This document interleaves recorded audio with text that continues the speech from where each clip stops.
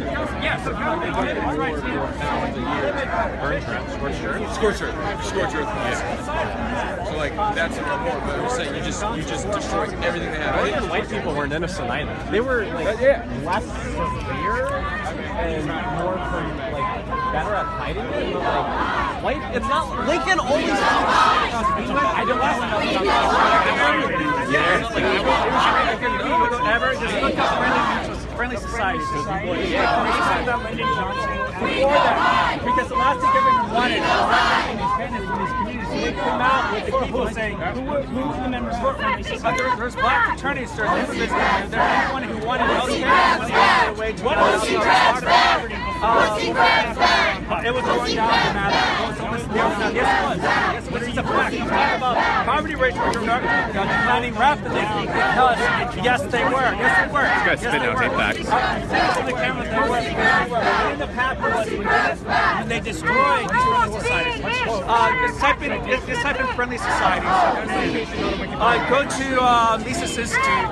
Uh, no, do not go to Mises guy. Mises is really, really bad. Mises is a guy who escaped from Nazi Germany. He's a Jew. Right. He escaped from fascism. So why, why, why is that bad? Mises is a total fascist.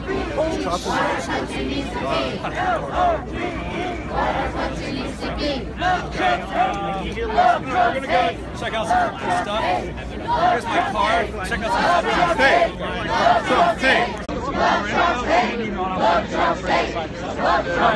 This time, this girl is If you put it down, that's right. Look it up.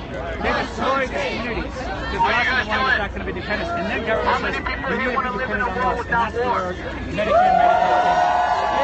Yeah, so you find healthcare was provided voluntarily, consensually in the market, and that's a fact. How did you find out? I know. I was getting my fault. Uh, I have recognized my friend. This is really big. How many people want to live in a world Do you want to jog or? He was a really bad guy. Watch out. If we're going to do that, it's going to take something much bigger than all of our thinking. It's going to take the bring I'm not gonna mind anymore. all the nation. I'm not gonna mind anymore. Come on. It's over there.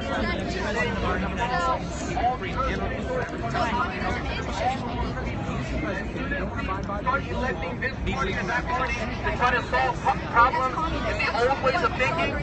We're going to end up with the same problems no matter who's in office. Yes, maybe Trump's going to do things differently, but in the end, we're not going to see poverty decrease. We have more empty apartments now than we have homeless people. That's inexcusable. That's inexcusable. We have 22 veterans, 22 United States veterans every day that commit suicide. That is unacceptable. You want to do your push-ups? A new social design